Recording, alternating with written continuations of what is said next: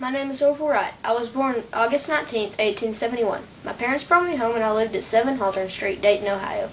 My parents' names are Bishop and Susan Wright, and I had an older brother named Wilbur.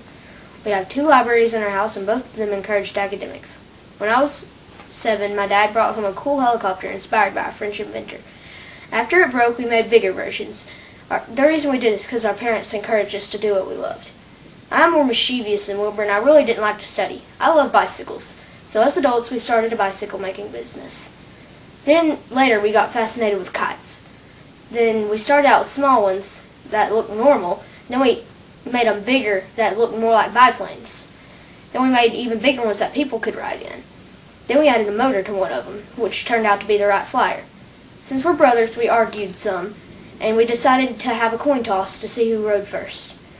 So Wilbur won, and on December 14, 1903, in Kitty Hawk, North Carolina, he flew for three seconds. On December 17th, I flew for 12 seconds at 6.8 miles per hour, and I flew 120 feet.